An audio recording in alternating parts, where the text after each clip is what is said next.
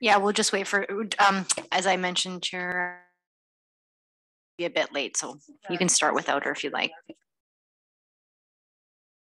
Okay, sure. Thank you. Thank you.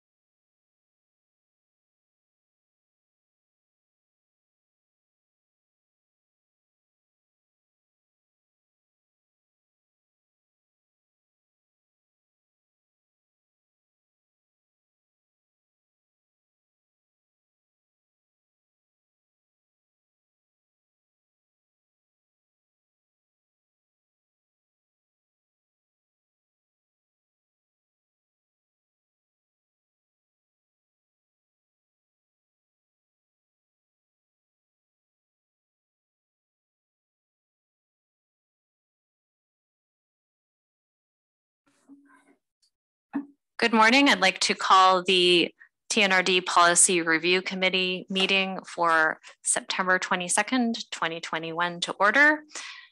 Um, and I would like to acknowledge that we at the TNRD connect with many First Nation communities across our vast regional district, and today are located on the Tk'emlúps te Secwepemc territory, situated within the unceded ancestral lands of the Secwepemc Nation. The TNRD appreciates the partnership that we have with Tk'emlúps te Secwepemc and respect the territory and land on which we gather here today. Uh, I do have one announcement. Uh, we are joined today by Amanda Ellison, just to my left here. She is our new General Manager of People and Engagement, and uh, she will have some information to share later on in this meeting. Are there any additions to or deletions from the agenda today?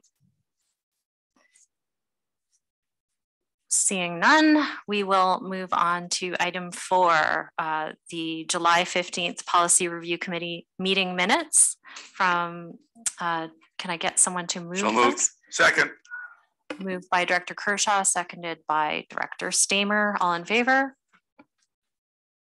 Any opposed? That's carried. Um, first item of business, 5.1, uh, policy 5.2.1, disposal of assets. And I believe Ms. Campbell will be sharing that with us. And I'm going to turn that over to Mr. Ray, actually. Mr. Ray. Sure. Thank you, Chair. Um, this was just a, uh, a policy that I thought needed some housekeeping attention. Um, I've included the existing policy for everyone to see, and it's it's pretty bare bones. It talks about book sales from the library, and otherwise, it just kind of talks in general what the process would be if assets are valued at under a thousand or over a thousand. And it didn't specifically address things that were common practice, such as trading in older corporate vehicles towards the cost of a purchase of a new replacement vehicle. And I thought it was time to just um, include a little bit more detail. Um, and as I as I looked at it, and I and I looked at some of the other um, policies, uh, comparable policies with uh, neighboring regional districts. Um, I saw that some of that was already addressed in some of their policies, so I cleverly adopted some of their wording. And um, so what you see is um, a policy that not only kind of lays out the process uh, and who has the authority to dispose of assets, but a bit of a preferential listing of, of those methods, whether it be uh, using it in another TNRD service, uh, trading it in, um, uh, selling it through a public offering, but also um, specifically addressing the opportunities if, if they come along uh, for donations to uh, worthy not-for-profits, um, recycling, and so on. So um, that's about all I have. If you have any questions. Thank you for your presentation. Um, any discussion or questions on this policy? Director Brown. Um, trade in value, are you talking about the book value or the actual fair market value at the time? Generally, we would go with um, what we have as a book value. So if we have an asset that's, say, six years old and has been depreciated over that six years and has very little book value left, we'd be looking at that. Um, but we might take uh, market value into account. Uh, certainly, something like a vehicle, um, uh, you know, we we would typically be guessing what the uh, salvage value or, or, residual value of that asset would be at the end of the TNRD's use of it. Um, but uh, you know, we'd be looking at certainly maximizing what we get as a uh, trade-in proceeds. Thank you. Director Quinn. Uh, there we go. what I don't see in here is um, anything about directors' computers.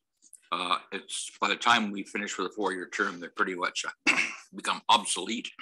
And I don't know what past practice has been since I left last time, but uh, directors were uh, given the option of buying out their computers for, I think, I think the amount of that time was a hundred bucks. And I don't see that in here. And if that, that's the desire of the, of the committee, uh, it should reflect that. So it's really clear to the public. Uh, and I say that because some directors, uh, I'm not one of them, use it for personal stuff too. Um, so is that should that be included? And is that what the appetite of the committee would be? So to, if I if I can jump in there, that's actually addressed in a separate board policy. And that's why uh, section eight of this policy, I use the wording unless specifically addressed in another policy, blah, blah, blah. So that would be an example of another policy where that's specifically addressed. Okay, fair enough. I, I understand that. Um, does that other policy also set a value I believe it does. I haven't looked Okay. at it lately. Then that answers my question. Thank you. Thank you. Director Steamer. Uh, thank you, Madam Chair. Um, just looking on the part where it talks about the ADR forms. And then down at the bottom on number five, it says the board must be informed of the intent to dispose of assets that have a historical cost in excess of hundred thousand. Intent for disposal may be provided within the five-year financial plan and does not require a board resolution. Why is that? Um, again, that was that was looking at what the practice in other regional districts was. We didn't have anything like that in the existing policy. Uh, and I thought it would be worthwhile adding it. Um, in terms of, of that process, I think if it's explicitly spelled out in the budget that the board adopts, what it's really getting at is saying if you if you're adopting the budget and there's an explicit disposal in there, um, then that's a sufficient method of informing the board and getting a decision from the board without having to go to the steps of having a, another specific motion. Um, that was the intent. Does that answer your question? Uh, Yeah, it does, but I'm just, but, but it says it may be provided. It Doesn't necessarily have to be provided. Well, That's if- with, it- with the wording. I'm just wondering if it's something that, if we're gonna be starting to talk of those kinds of dollars, maybe we should still have that mechanism where it does still get the attention of the board so that there is no Yeah. mistakes being made in that, those kinds of realms. I mean, anything less than that is still a significant amount of money, but hundred thousand dollars is hundred thousand dollars. I think, um, so it says the board must be informed of the intent to dispose of assets with a historical cost in excess of hundred thousand dollars. So that's a must. Intent for disposal may be provided. So it may be that after the board has adopted a budget, somewhere along the lines, a decision is made to uh, dispose of an asset. And at that point, it would come to the board as a separate, um, separate motion because it wasn't included in the financial plan, but where possible, and it can be anticipated, we would attempt to include it in the financial plan. So it's it's it's basically a timing issue of saying if we can put it in the financial plan, we will. But if that's not feasible because it's later in the year, then we'll bring it directly to the board's attention otherwise. Thank you. I have Director Bass and Director Quinn next. Um, I, I actually want to speak on a different matter. I'm sorry, I signaled you at the wrong time. Thank you, uh, Chair. Um, I'm going to focus down on something I know that's going on. Uh, Blue River has an old water filter, then the water system was put in. It was actually never used. Uh, we'll be doing some upgrades uh, to the water system, which will not require it. And I think, I'm not sure what the intent of the, uh, the uh, uh, utilities department is, but I, the suggestion to me was made, we'll hang on to it in case somebody needs it. So that's an asset that's probably depreciated like mad by now in a normal business sense. How would that, how would that be handled? Doug, please. Well, again, I, I don't know what the historic cost was. So if it was greater than a hundred thousand dollars, we'd be bringing it to the board. Um, and beyond that, if I look at the preferential methods, um, Blue River might not be able to use it, but maybe one of our other water Yeah. systems might. That's So what I, that would that's what I was thinking. And That would be the, the first, um, and generally what we do from an accounting purposes would be to credit Blue River for a value and charge it to the other service that's purchasing it. Okay, so that, that makes sense. That's more or less what Jake and I were talking about. Yeah. Uh, the other issue to that was there was grant money involved in doing that. So is that repairable? This was twenty years ago.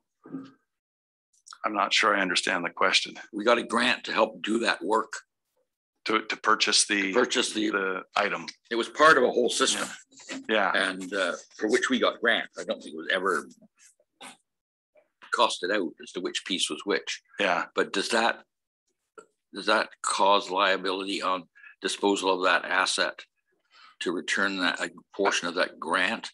I Um, don't, I don't think so unless yeah. there's something specific in the grant wording that says, you know, Yeah, that was once you ago. dispose of the asset twenty years from now, you'll owe us money back, but I, I doubt it. I'm just trying to anticipate so we don't have a problem when it goes to go. Yeah, Thank you. I Thank you. wouldn't anticipate that Yeah. being a problem. May I suggest that that conversation can continue outside of the- this meeting? Um, and, and that's great that we have a specific example of how this policy may come into, into play, but um, might be a different conversation. So perhaps the question would be, does this cover this? I think it does from my reading of it. Thank you. Thank you. Uh, we have Director Roden with her hand up there virtually. Hello, uh, thank you. Yes, the, uh, the train's finally cleared. Um, on page fourteen, um, item number seven, uh, if sort of a catch-all, if a more advantageous option to dispose of an asset in an alternative method is realized that has not been identified above, the CAO will have the authority to approve of an alternative disposal method. Will this apply to, uh, assets of any value, whether it's under a thousand or over a thousand, because if it's under a thousand, previously it says that uh, department managers can make that call. Yeah, again, I think that was intended to be a bit of a, you know, going to anticipate every single circumstance. And so some allowance for the CAO to consider uh, options that would be beneficial to the TNRD. Um, There would be probably at that point, if you're looking at an alternative uh, method of disposal, um, it would be the CAO um, approving of that uh, as opposed to the department head because um, because it's an alternate uh, idea. Uh, and again, if it's a hundred thousand dollars or more, then that's going to be brought to the board uh, for your attention. Thank you. Any other questions, discussion on this policy draft? Uh, Director Steamer. Thank you, Mr. Chair. So, so back to that same question I had, Doug. So the only thing I'm, I'm a little concerned about is that even if that is part of the five-year financial plan, and there is, um, you're saying that there, there, there may, it may be provided, um, information to the board. We could have a scenario where we could have a brand-new board and something could be looked at from a previous five-year financial plan, you could be getting rid of an asset without any approval of the new board, correct? I guess that goes um, the same if we were to receive, you know, a motion from the board uh, approving uh, one plan of action and then an election occurs and there's a new board, the direction we received from the previous board would still stand. Uh, I'm just wondering if we I don't should see a have, difference. well, the re, what I'm, what I'm saying is I'm wondering if we should have have that mechanism in place so that when we approach that hundred thousand dollars, regardless of it, whether it's being part of the plan or not, that there's still an, an opportunity for the board to make the motion or not. What I'm saying is there would, that would be the mechanism to Yeah. stop it. We, we could do that. I'm just saying that it's just an opportunity. Yeah. It's not a big deal. It doesn't happen a lot, but it is Yeah. a significant amount. It's a significant asset. It's not just trading in a vehicle or whatever it is. Yeah. Maybe that's something that we should change so that it does have to be brought to the board's attention and the board does have to vote on. it. What does Yeah, everybody uh, else we think? I mean, it's not a big deal. It's just that it's just another, it's just another check. And again, there could be an opportunity where you have a brand new board, you've got a five-year financial plan that's still rolling. All of a sudden, you could be getting rid of a, of a historical asset that maybe there's some board members that maybe don't agree with that, or maybe they want something done differently. Well, as I say, um, even if we did get a motion from the board and then we had a new board come in, that wouldn't necessarily nullify the motion from the previous board. But I see your point and certainly if that's the will of the committee, then we can make that change. Well, I'd like, I'd like to make a motion that we, we change that in as much as that when we have a cost in excess of hundred thousand dollars, that it has to be brought to the board to make it official. Is that a second from Director Schaefer? Oh.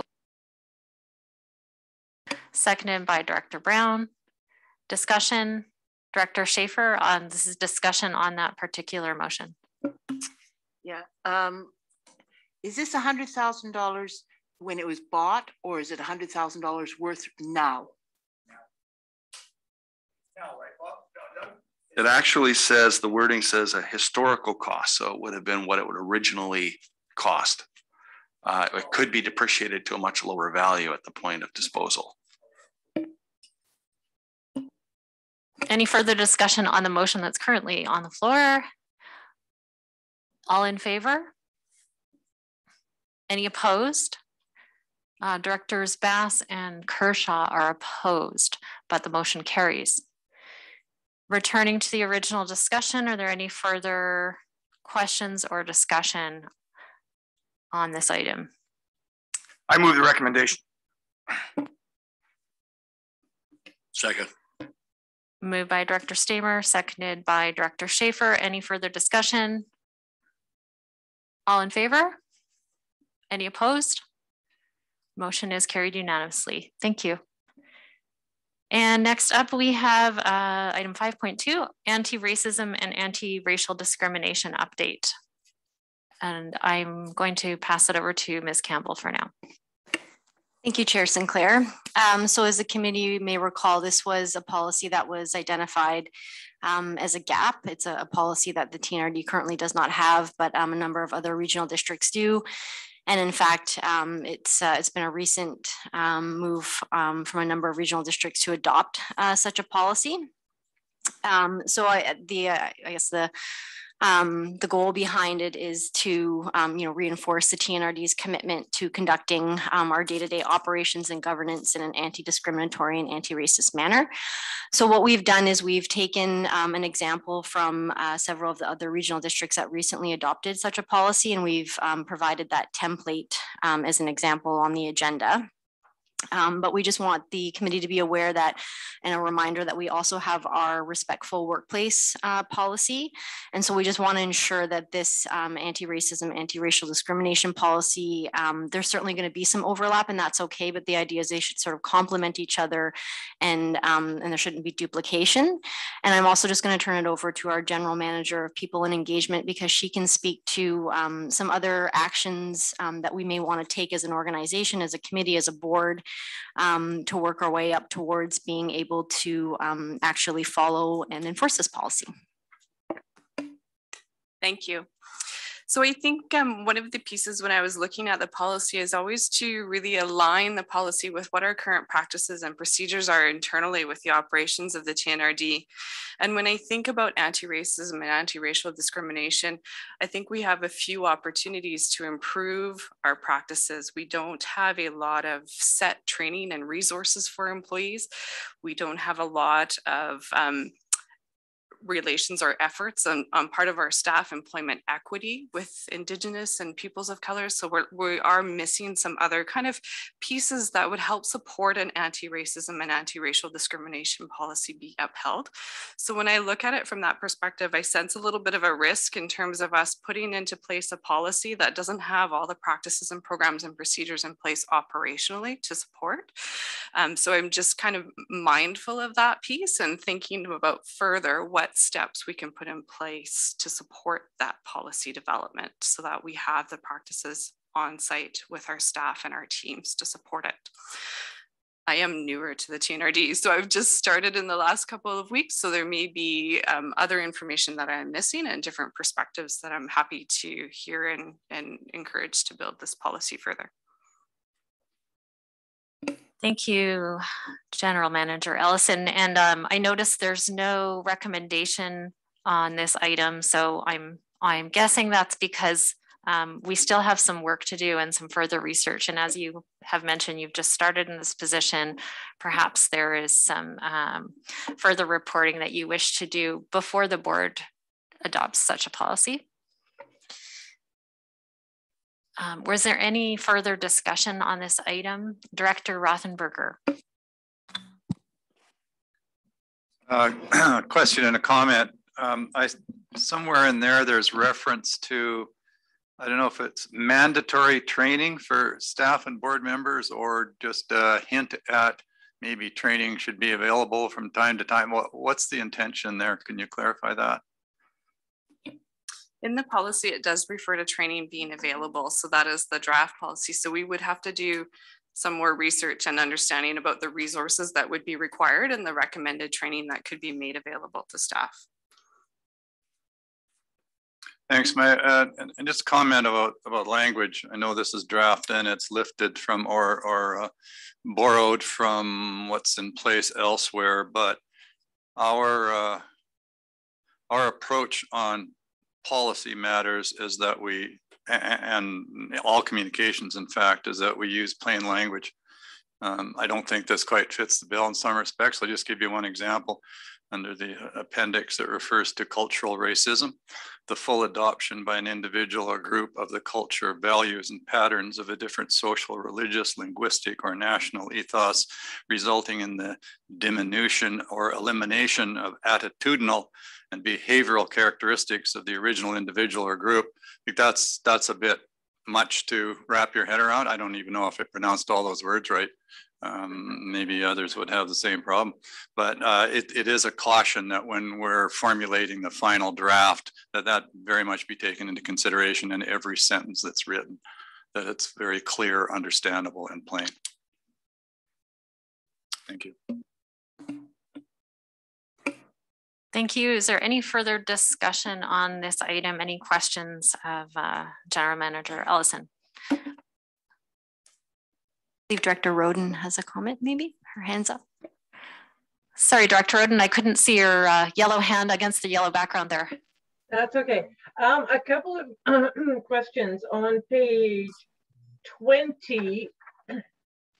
It's under the roles and responsibilities, um, number seven train all new employees, volunteers, students, and contractors on this policy at the commencement of their employment. When I think of contractors, I think of people coming in to lay a driveway or do some electrical work. I'm not sure that that's the definition of contractor meant here. I think that a definition of what exactly is meant by a contractor is needed. Thanks, Director Roden. I can speak to that. So um, as noted, we we uh, we took this from other regional districts um, templates, and so some of them have decided to um, have this policy apply to like contractors as well that do work um, for their regional district. So I think that's another conversation that we likely have to have, and um, the committee can perhaps provide some feedback to Amanda on this as to whether or how all encompassing we want this um, this to be. Uh, for example, in some regional districts, it also includes um, their respective uh, union organizations. Um, so I, I, think it's uh, it's really at the um, you know the the direction of the committee in terms of um, who we want this um, this policy to apply to within the TNRD. Right, okay, thank you. Uh, That, that would be a good discussion to have because I, I'm, I'm trying to picture a scenario where you're asking a construction company and its employees to sit down and, and get trained on, on anti-racial discrimination. And I'm not picturing it going terribly well. Um, going down further on that same page 20, under the bullet point that starts subject to procedures referred to in respectful workplace policy, da da da. It finishes um, appropriate action to be taken, which may include education, training, or disciplinary action dependent upon the results. Um, results of what? I'm not wondering if results is the right word there. Is the appropriate action to be taken dependent on the situation, dependent on the recommendations arising from that situation. I just think that needs a little bit of clarification. Thank you. I have, uh, thank you. I have Director Stamer and then Director Quinn. Uh, thank you, Madam Chair. Um, yes, I agree. I mean, there's, I agree with uh, Director Rothenberger in as much as that we'd want to be able to make it as straightforward as we possibly can. And as we go through this, I would think that this would be something that we would include as a review, then training on our contractors and that sort of thing. So I'm sure there's an opportunity where we can have that discussion where, you know, when you're doing pre-works and things like that, that there would be a, you know, a way of being able to make sure that uh, the majority of the, the basis of this policy would be able to be explained on the work site and then, you know, signed off on that. There'd be copies and that sort of thing. And I agree with Director Roden in as much as that uh, we can really get bogged down with a bunch of this stuff but as long as we can simplify it particularly for for the people that are working for us to make sure that they know that we do have that policy in place we have the mechanisms in place. If there are issues that arise from it and there's always the information that they can fall back upon in the policy. Thank you director quinn. Thank you mr uh, madam chair. I, I, i'm a little confused. Director roden was referring to page 20 I've only got page five of six and six of six. So what page was she referring to? Maybe. Director Roden, you're on mute.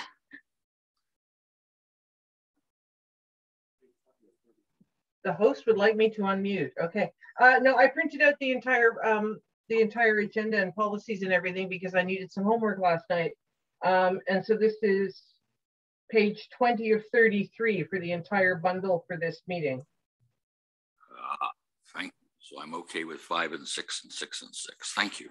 So I thought I was missing something. I'm, uh, I'm, do, I'm doing it in Imperial, uh, Director Quinn. You're probably doing it in metric. Five is five is five is five, whatever system we use. Um, are we uh, adopting, are we adopting this for recommendation to the board? Are we going to have some future discussion? It, yeah, thank you, Director Quinn. Yeah. It, it's um, this is for discussion right now. We're not ready to make a recommendation to the board, and I think it's been um, clearly pointed yeah. out by our general manager of people and engagement that we have some work to do to ensure that this policy is not just a policy that sits on a shelf, but that we actually have some support for it and can follow through on it. Uh, thank you. The, the, the, reason I asked that is that next year there will be a new board, and I, su I suppose there will be some new members. And I would think that staff will certainly, it's changed so much since I first got elected that there needs to be maybe even a two-day education process for um, new directors that are coming in particularly. Uh, the staff will do their staff thing, which is fine, which is great. Um, the other thing is when we go to get our papers to sign in for director, to, to run for director, should that kind of a, this kind of a policy be included in that to make sure that people know what they're getting into. Uh, it's just a thought. Thank you. It's a uh, interesting point to consider. Thank you, Director Quinn. Um, was there any response to that or? Certainly, we can we can um, take that into consideration when we you're talking about when we do the board orientation, uh, Director Quinn. Yeah, Yeah, I think that's a Um, great idea. I think there's a number of board policies in addition to, to ones like this that would, uh, and should be included, including the alternate directors policy that will be going to the board, uh, tomorrow that this committee recommended. You know, also what I'm getting at is there is, is, this is important. Um, and I've noticed over the years, particularly the person that ran against me last time, hadn't, hadn't a clue as to what he was getting into. And it may be a little off topic, but there should be a package when you come in and pick the papers up. Get a little package. Please read this before you sign the paper. Thank you. Thank you, Director Quinn. Uh, we have Director Brown next.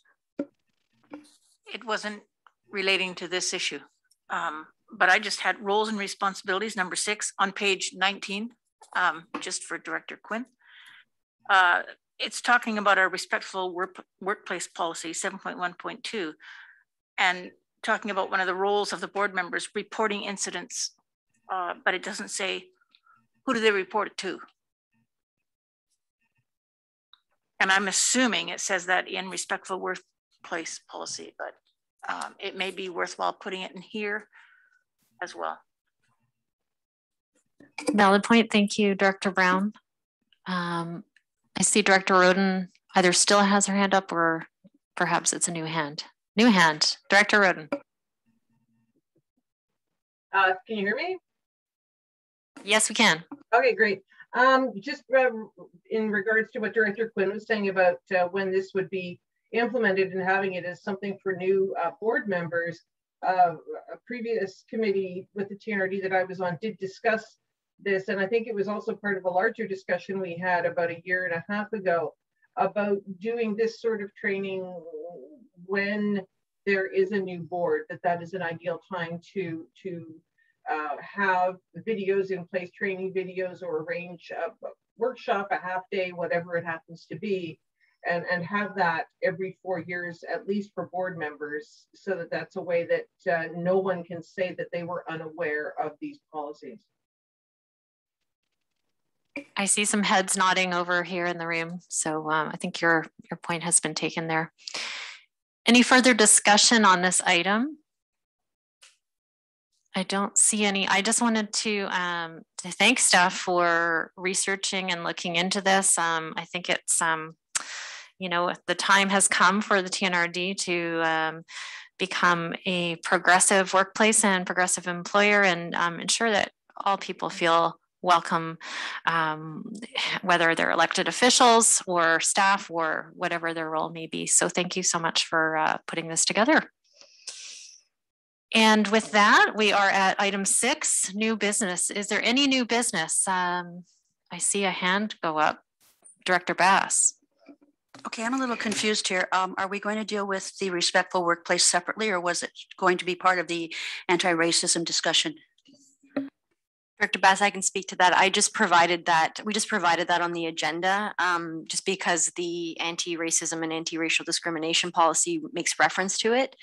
Um, so it was just more for context, that policy is already in place.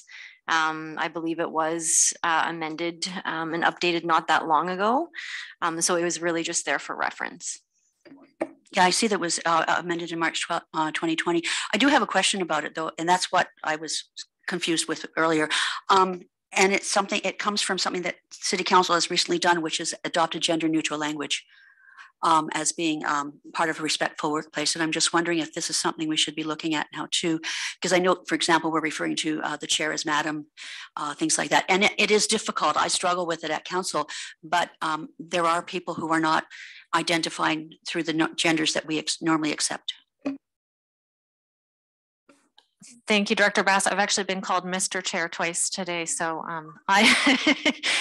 um, but um, you you raise a good point, and um, it, it, was something that occurred to me as well um, when we talk about anti-racism. Um, you know, we don't really reference the LGBTQ S plus um, community either. And um, perhaps that's something that our director of people and engagement or manager of people engagement can be uh, addressing in her upcoming work as well. Absolutely, thank you. I think we can look at that. And I, I pose maybe a question too late to the group, but with the respectful workplace environment, it does cover all forms of harassment and discrimination, which would include racial discrimination. So I am potentially quite late into the game, but has there been a conversation around the pros and cons of actually articulating a full and complete second policy versus re-amending that workful respectful workplace to clarify and emphasize anti-racial and anti-racist discrimination? Thank you. Dr. Brown. I, I was wondering that same thing myself. Why do we have two? Um, I would like to see them combined. Director Roden. Uh, thank you. Just regarding the, um, the, the gender neutral language, I think when it comes to things like addressing the chair, um, I, since we do not have an alternative, a gender neutral alternative from Madam Chair or, or Mr. Chair, I think that persons in that situation could say in advance what their preference was. The way you see, I noticed at UBCM, for example, a lot of people on their profiles had, uh, you know, their name, you know, Joe Smith, and then in brackets, he, him. So I think it would be an individual choice whether you were called Madam Chair or Mr. Chair or some other alternative. And because there is not a happy one that leaps instantly to mind, that would be then up to people to decide what they wanted to be referred to as. That would be, so I, I see that as being very much an individual choice. Fair point for consideration. Thank you, Director Roden. Um, going back to combining the anti-racism policy and the respectful workplace policy, um, personally, I'd be in favor of um, looking at other regional districts and other um, leading employers and institutions and, and seeing what their practices are, um, as long as we don't lose the spirit of, of um, what's being expressed in the anti-racism policy, for example. Um, I, you know, it doesn't personally matter to me whether it's one policy or two. Director Quinn. Um, respectfully to Director Roden, I think com combination of the two should come a long way down the road. Um, the society as a whole is, is only just beginning to really recognize the serious problems with all sorts of discrimination. And at this moment in time, um, particularly with um, with the truth and reconciliation thing, we really need to make a clear statement on racial uh, um, on racial issues, and that's what I see in this policy, rather than combining it, just in case it doesn't water down the whole thing. Uh, I, that's just my opinion. So thank you. Thanks, Director Quinn. Any further discussion? I think we've got quite a bit to uh, work with here. And when I say we, I mean um, our, our, general manager over here. Um, I don't see any further discussion. So, um, oh, I'm sorry, Director Roden. Okay, I'm sitting away off here in Ashcroft. I'm not surprised you can't see me. Uh, no, uh, to, to, Director Quinn, I wasn't suggesting that the two be combined necessarily. In fact, my preference would be to keep them separate just because um, putting them together, one might subsume the other or dilute one of them or both of them. I don't know. I, I would be happier. My personal preference would be to see them as two separate policies, um, as as separate but equal, to coin a phrase. But um, I'm not suggesting necessarily that these two things be be combined together. Thank you for the clarification. So um, I think we've given you enough to work with here. I see um, heads nodding. So um, any other new business under item six? Seeing none, it's a very short meeting today. We are adjourned.